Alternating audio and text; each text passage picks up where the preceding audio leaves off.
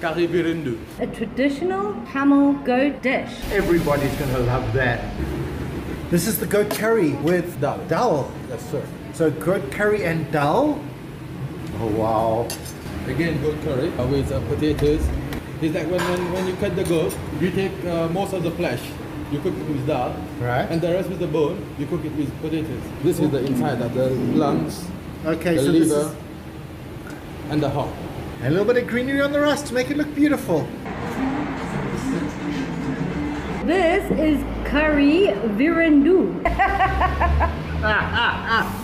Oh wow, that is so good. Alice, a restaurant in Grand Bay.